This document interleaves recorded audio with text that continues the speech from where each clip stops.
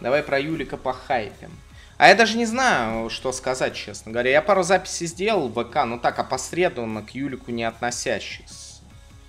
Честно говоря, еще со времен, когда он был вайнером, вы, наверное, помните мое к нему отношение, несмотря на то, что с ним тусили мои лучшие друганцы Ларин и Хованский, я всегда относился к нему, ну, не знаю, как-то,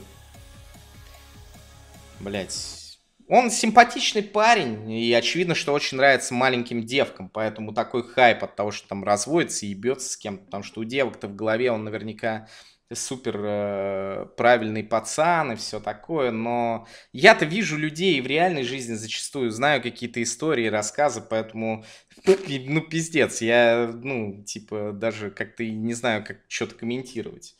Э, плюс я, в отличие от большинства людей, немного хотя бы образованный, у меня 116 IQ, поэтому когда я смотрю там ролик Хованского, э, где сидит Юлик, и они там смотрят, э, ну, типа, отжиги Ельцина, и Юлик такой, блядь, а чё, Ельцин был президентом?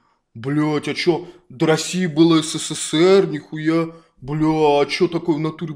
Я просто смотрю и думаю, ебать, где ты его достал вообще? Ебать, ебать, блядь, это что вообще за чувак, нахуй?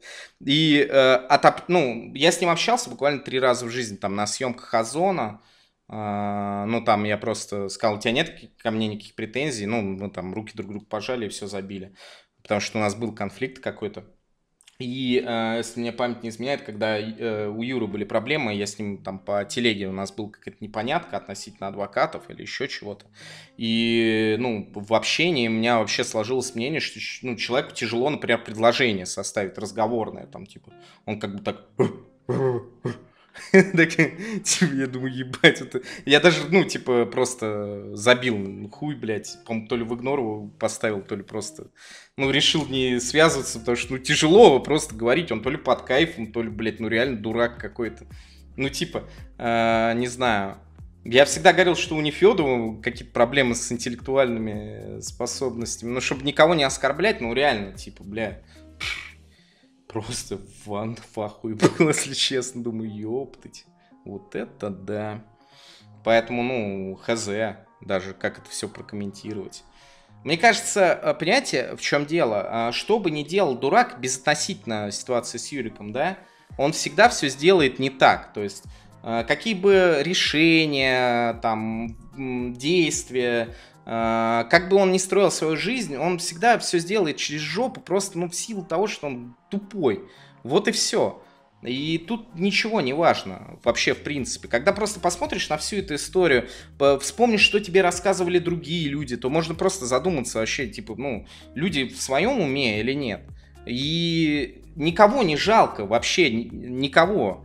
А, потому что посмотришь на кого-то, да, типа, побрившаяся на лысо феминистка с татуировкой на лбу, какая-то карлица у помойки, там, ну, без негатива, э, маленькая женщина, назовем ее так, э, какие-то э, странные люди, похожие на мужчин, то ли... и все это как-то вместе перемешано, блядь, перекручено, какие-то отношения у всех, все друг друга бегают, все на наркотиках постоянно, и т.д. и т.п. Я и думаешь, блядь, зачем вообще в этом разбираться? Но при этом 13-летние девочки сидят в интернете, видят симпатичного мальчика и думают, ебать, он классный парень, ебать, он э, типа умный, блядь, симпатичный, спортивный.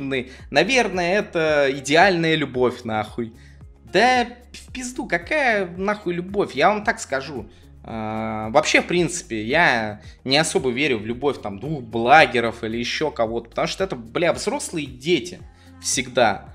Ну, честно говоря, вот после того, как я там свои длинные отношения закончил, да, а, я тоже первое время писал там каким-то стримершам и так далее. Через ну, ладно, через год мне пришло осознание, надо завязывать с этой хуйней, потому что, во-первых, э, ну, это абсолютно тупое занятие, э, и здесь отношения всегда будут какие-то публичные, хайповые, но не настоящие. И то, что вы оба занимаетесь какой-то хуйней вместо реальной там работы, жизни и так далее, оно только всегда будет негативно влиять. Перешел на идеальных женщин. Ну да, да Идеальные женщины.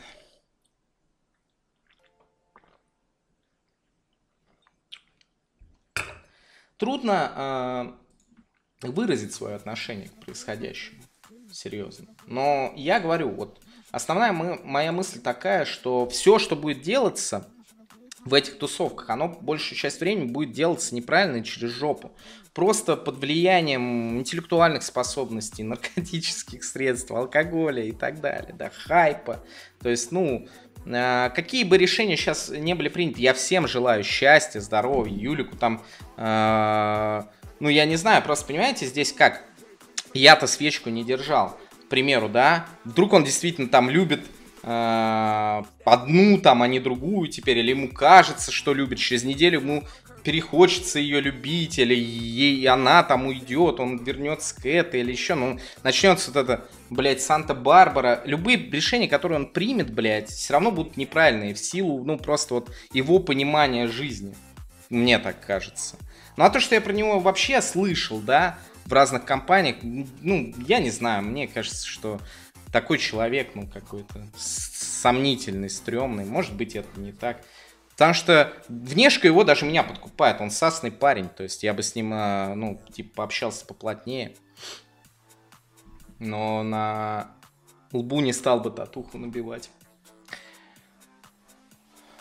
Так, про изнасилование я не буду комментарии давать, ребята. Пока Лиска сидит в тюрьме, по слухам где-то в Америке, и сама что-то не скажет, я вообще, ну, во-первых, я знаю Лиску и Юлика, поэтому я не буду давать никаких комментариев, я не знаю этой ситуации в принципе, да. Это очень серьезное обвинение, вообще, ну, уголовного характера, я бы даже сказал, хотя в России зачастую все спускается на тормоза, в этом плане. Но я уж точно ничего говорить не буду, просто потому что ну, это уже серьезное обвинение. То есть, если кто э, свечку держал или еще что-то, тогда пусть он говорит, а если нет, то пусть, ну, типа, помалкивает. Обрисована ситуация была, да, я ее тоже прочел, э, какие-то выводы сделал. Что-то где-то слышал, возможно, тоже. Но не более того, я не, не стану говорить, потому что ну, это слишком жестко. Когда, ну, там, что-то откровенное, кто-то уже кому можно доверять, скажет по этой ситуации, тогда, конечно. Но я ничего говорить не буду. Кого изнасиловала Лиска? Я думаю, никого. Она вообще, ну, типа, такая позитивная девчонка. Я тоже видел один раз только в жизни. Я сказал, э, мы тогда уезжали как раз со съемок, я говорю, ну, типа, не хочешь с нами по поехать пиво пить? Она заплакала и убежала почему-то на это предложение, я так и не понял. Может быть, какая-то травма. Ладно, это шутка. Это шутка. На самом деле такого не было. Если честно, ну, помню Лиску, еще когда она в Доту с нами играла, она всегда мне казалось, что как-то ну, играет за другую команду. Не в, не в Доте, если вы понимаете, о чем я.